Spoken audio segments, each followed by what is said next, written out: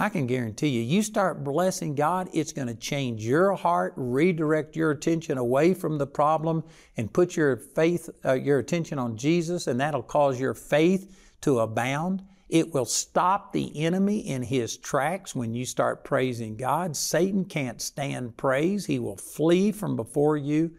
And the most important thing is, it will bless God. God will inhabit your praises. He will rejoice over you. He will rejoice over you with singing from Zephaniah. I think it's 317. God loves you.